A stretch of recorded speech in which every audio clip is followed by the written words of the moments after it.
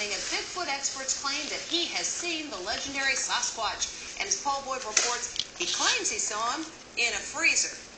Could this be Bigfoot? The photograph shows the body of what is supposed to be the legendary creature stuffed into a freezer. This could be the biggest discovery in the last 200 years. I spoke to Tom Biscardi, a self-described Bigfoot expert who claims he's seen the body. You can understand, though, why there are some of us who really just find this all too much to believe. I understand the skepticism. I've seen it. I touched it. Two men say they found the mythical creature's body in the remote Georgia woods. The seven feet, seven inches tall.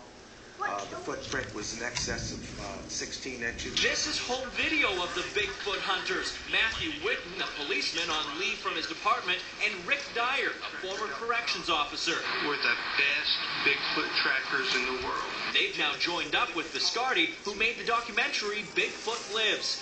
But there's plenty of skepticism, with ABCNews.com calling it a hoax, and the New York Times saying the body looks like a sheepskin rug.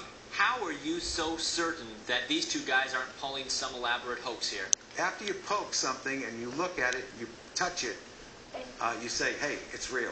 Almost as legendary as Bigfoot itself are hoaxes that have been perpetrated over the years, including this infamous grainy film made in the 1950s that supposedly shows Bigfoot in the wild. In 2002, the people behind the video finally admitted it was a fake. As for the latest claim, one skeptical website says the so-called body is nothing more than a Halloween costume.